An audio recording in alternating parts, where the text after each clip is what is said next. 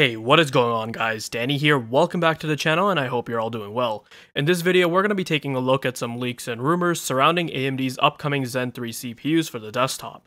As you all might know, AMD had posted on their Twitter account earlier this month that they will be announcing new products for the desktop, which include CPUs and GPUs, or at the very least, be unveiling them with the respective dates. The Zen 3 announcement is supposed to be held on the 8th of October, which is about a week away, so the date is approaching fast. Whenever a launch is imminent or relatively close, you're going to start seeing some leaks and rumors spread around the internet. With AMD Zen 3, they're no exception here, and we're starting to see some information trickle out as we get closer to their announcements. Although I do have to say that AMD is being quite tight lipped about these new generation of products, both on the CPU and GPU front. So the first leak comes from Tim Apisak from Twitter, who is a known PC hardware leaker and benchmark database data miner. He actually posted a couple of results from the Ashes of the Singularity benchmark database, and this benchmark result showed a Ryzen 7 5800X processor.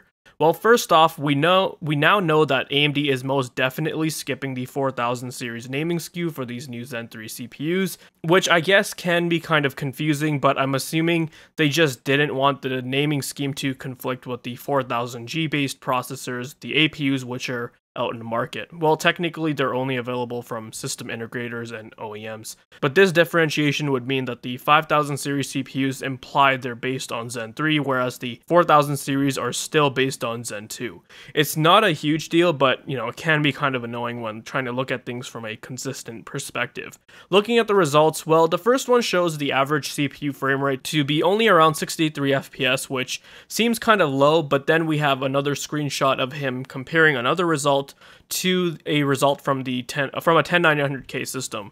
And here we can see the 5800X is quite a bit faster than the 10900K. When we look at the averages for all the batches, the 5800X has a frame rate of 133.6, whereas the 10900K has a frame rate of around 114.9. So that's just a difference of 16%, which is definitely notable. And if you look further at the batches separately, you can see that in the normal batch, the 5800X is 22% faster, but then the margins do close as you get to the heavier batches, with the last result only showing a difference of around 14%, which is still a considerable difference. Now, what I will say about this is that take these results with a grain of salt. Ashes of the Singularity is just one of those that's very well optimized, it's well threaded, and it's kind of like Doom Eternal in the sense where the discrepancies and differences you, you see won't really translate the same to other games, or games that are more commonly played. It's also been known to be quite memory intensive, so just having high frequency memory can also boost performance quite a bit. So we need more information here as to how the test system was set up. With that said though, if you just go back and take a look at some results from their database and find some that have a 3800X, for example, so an 8 core 16 thread CPU from the previous generation. This should give us a more apples to apples comparison. And here you guys can see that the 3800X achieved an average frame rate of 105.4, which isn't too far from the 10900K, but when you compare that to the 5800X score, that's a whopping 27% improvement. So if these benchmark results are legitimate, then we could be looking at a drastic improvement in gaming performance from these next gen Zen 3 based CPUs.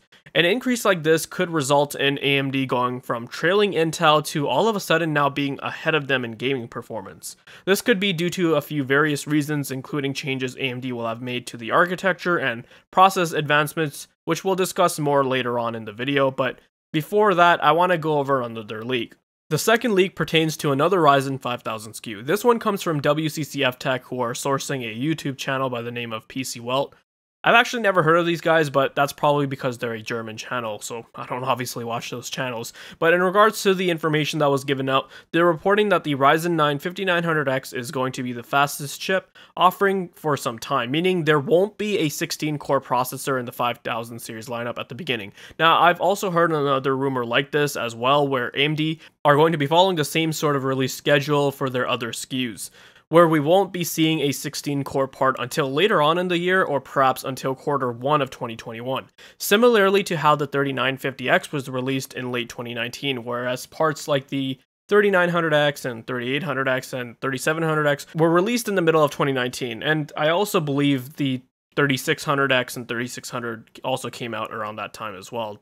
This could be due to a whole bunch of reasons. The yields may not be as abundant, and production facilities could be operating on limited capacity, thus resulting in lower volume. Remember, we're still in the middle of a pandemic. Every single industry has been affected, and logistics have been severely impacted. Just look at what happened with Nvidia recently. So I could see AMD for now announcing the 5900X, 5800X, and 5700X, just like how they did with Zen 2 but we know for sure that there will be a 16 core part for the Vermeer family, as Igor did find some OPNs back in August, which I did cover as well. Now, as for specs, core counts should mirror what we got from the 3000 series, so the 5900X should have 12 cores and 24 threads, and we already saw the 5800X shown to have 8 cores and 16 threads from the Ashes benchmark. So no real surprise here. I wasn't expecting AMD to increase core counts drastically again for this new generation. They're still leveraging TSMC's 7 nanometer node, albeit a more tweaked version of it with 7 nanometers plus. So it's not like these chiplet packages were going to get any smaller and provide the additional room to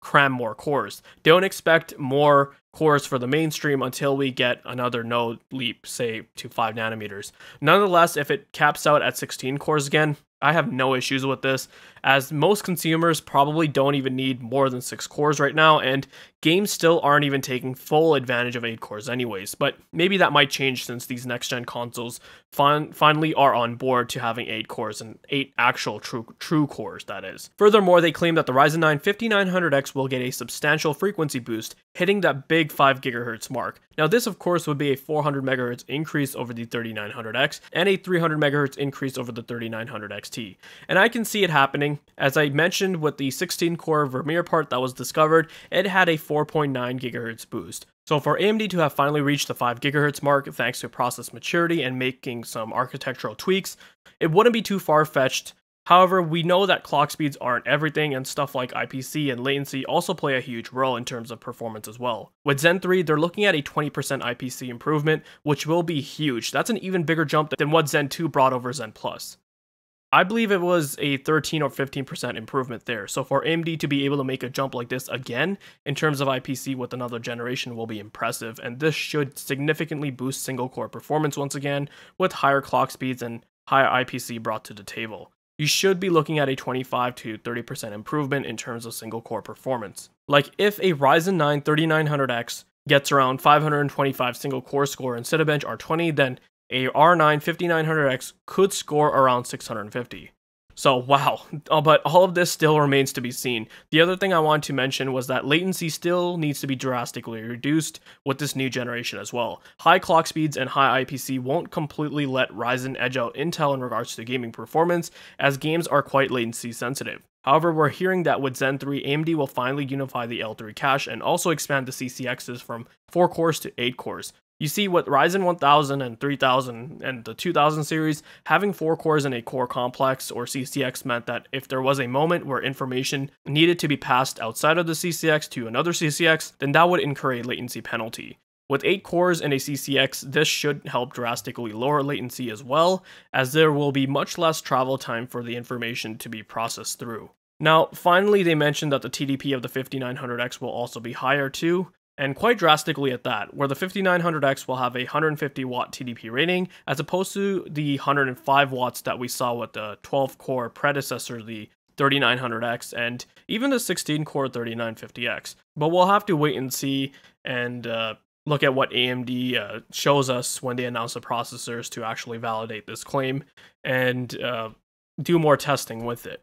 As for release dates, we know they'll make an announcement on the 8th, but whether the processors will actually go on sale that day, shortly after, or a month later is still up in the air. However, we are hearing some rumors from a few credible places, one of whom is 1usmus, who is the creator of the Ryzen DRAM calculator and clock tuner programs, and he's claiming that AMD will release the 5900X and 5800X on the 20th of October, which is only 12 days after the announcement, and that Navi will launch somewhere between the 15th and 20th of November. Now, Computerbase, who are a well regarded German PC hardware review site, which I use often for my performance analysis, are also claiming to have received some information that AMD will launch the processors either on the 20th of October or the 27th. So, if places like these are giving out information and their dates line up together, then you can be fairly certain that it's probably legitimate. Also, I'm happy to hear that we won't have to wait like a month for these processors to hit store shelves, but we'll have to wait and see. So that'll do it for this video. We've only got about a week until these processors are unveiled, but I expect some more leaks to come out in the next few days, so keep your eyes peeled and stay tuned. I hope you guys found this video to be informative and helpful. Let me know your thoughts down below. Check out the video description on ways to support the channel and for my other videos. If you guys are interested in more content like this, then make sure you subscribe. Thanks for watching, take care, and I'll see you guys in the next one.